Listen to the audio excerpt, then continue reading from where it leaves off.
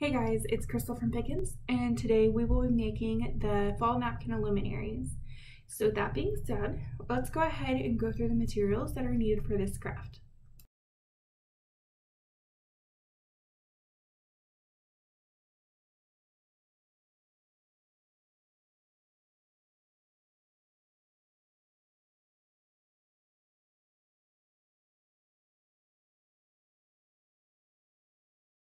Okay, now that we know what materials were needed, let's go ahead and get started.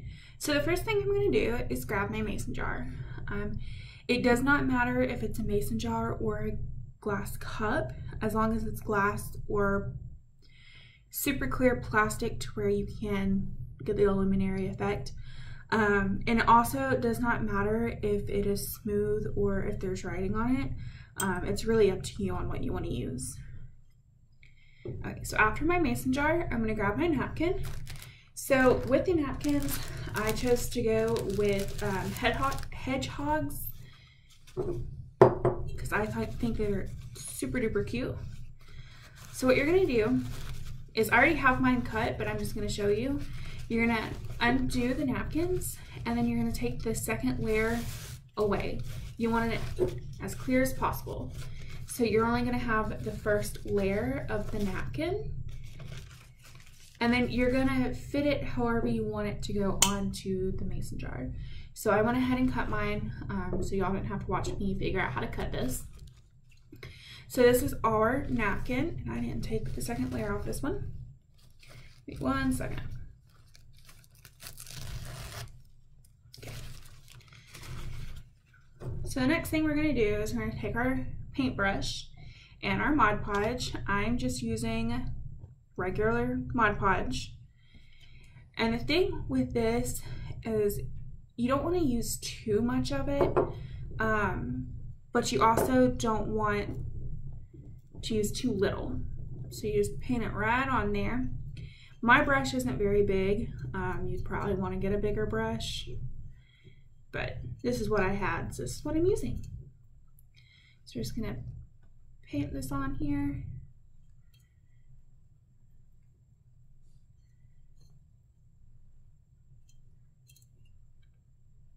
And just make sure that every piece of it is coated. And I'm gonna do it up to the rim um, because I don't like how it looks when I put the napkin on the rim. So I'm not covering the rim today.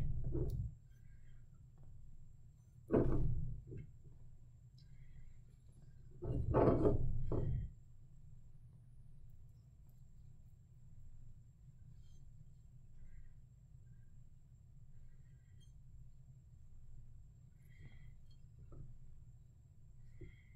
almost there. Almost there.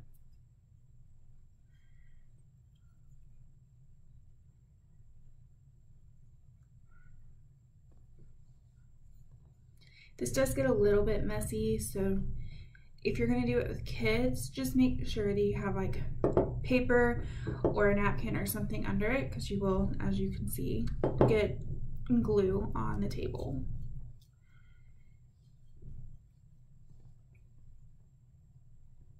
And if you're anything like me, you'll get glue on your clothes. Okay, looks like everything is put on there.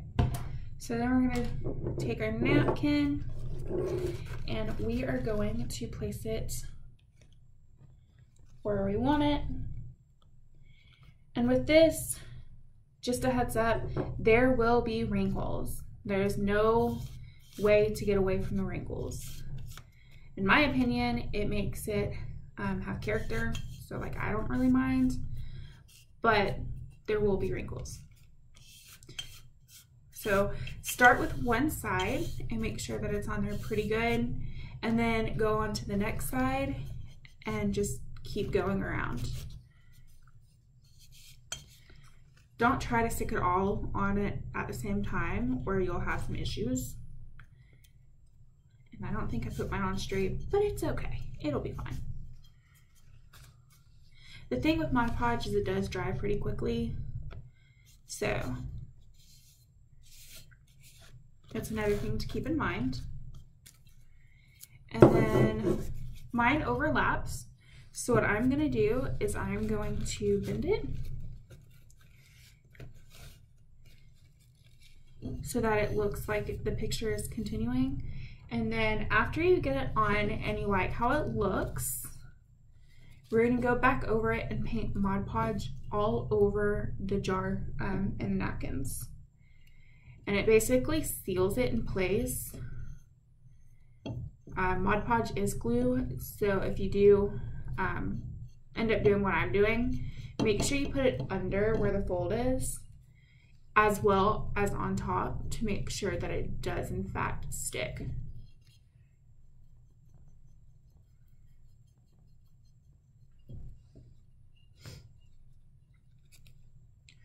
And when you're putting the glue or the Mod Podge on the napkins, it will end up um, drying clear unless you get like the opaque kind. Um, so it really does not matter if it cakes up a little bit. Um, you just want to make sure that it's even. Okay, so now we're going to go back and we're going to roughly paint over it. And you can do as many layers as you want. I will probably only do one layer for this video, um, so you don't have to sit here and watch me paint constantly.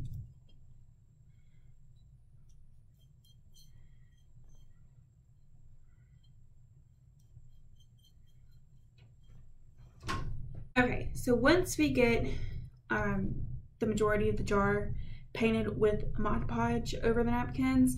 Now we're gonna focus on the bottom of the jar. As you can see, the napkin doesn't really go down to cover it, but I'm gonna show you how to fix that. So what we're gonna do first is go ahead and paint and make sure that the edges are flush with the jar.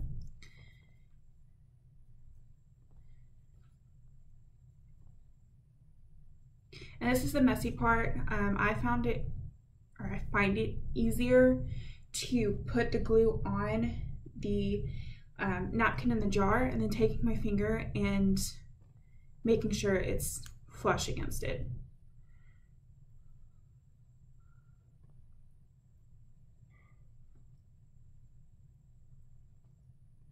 And as you can see, while we're going around, there are wrinkles. Um, and if you do get a jar that has any writing on it, you will be able to see the writing through the napkin. Um, again, I think it adds a little bit of character to it, so I'm I don't really mind it. Um, but some people will want it completely smooth. Um, the smoother it is, the easier it is to not get the wrinkles. Um, but you will always have a le at least a little bit of wrinkle because you're dealing with glue and paper and when it dries the paper doesn't like it so. Okay so we have it roughly on there. So what we're going to do is um, take the bottom of the napkin that we peeled off at the very beginning um, so the white piece we are going to put it on the bottom. Um, you can do another in this case a hedgehog hedgehog hedgehog there we go um, but you don't have to. And since no one's really going to be seeing the bottom, I'm going to do the white. So we're just going to paint it on there. And we're going to take a white piece.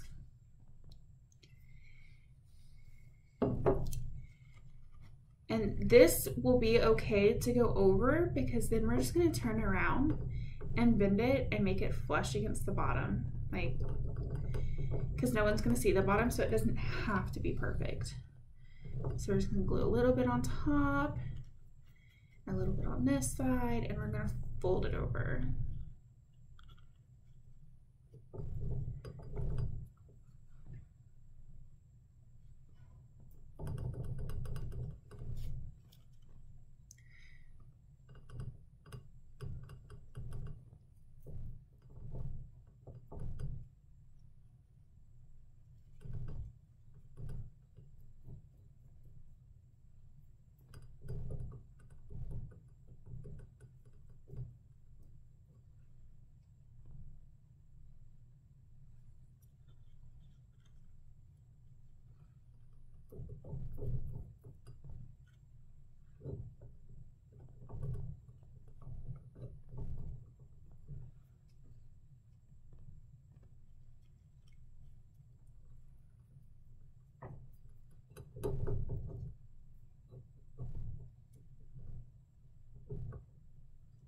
Okay, after it's on, just make sure you go around the edges and make sure both sets are in fact glued together and they're smooth.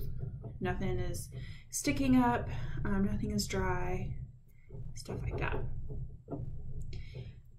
Okay, and I will let this dry for just a second and then we'll come back and I will show you the finished product.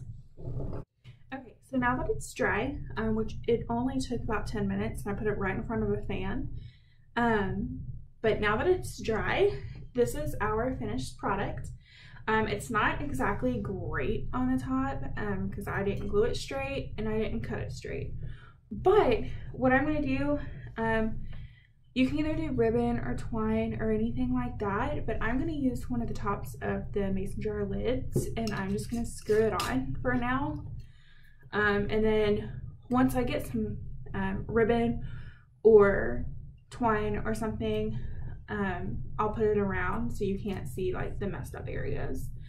Um, but yeah, so this is our finished product. Once it dries, you will, if you did what I did, you may find areas where you're gonna have to go back over with Mod Podge. Like right here, there's a little bubble and it's not sticking very well. Um, but that's it. And then once it's dried completely, you're gonna take your tea light um, you can do an actual candle if you want. This is just easier in a library setting to do one that's not an actual flame. So we're just gonna turn it on real quick and then we're gonna put it into the jar. My hand's a little too big for this. It went upside down, hang on.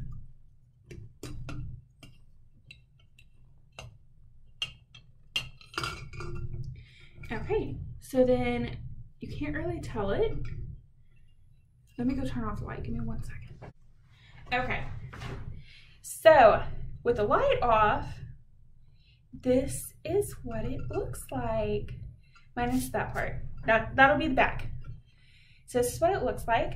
I also did one that is a small one so you can see the difference. Um, it doesn't matter what size mason jar you do. But yeah, that is the end product.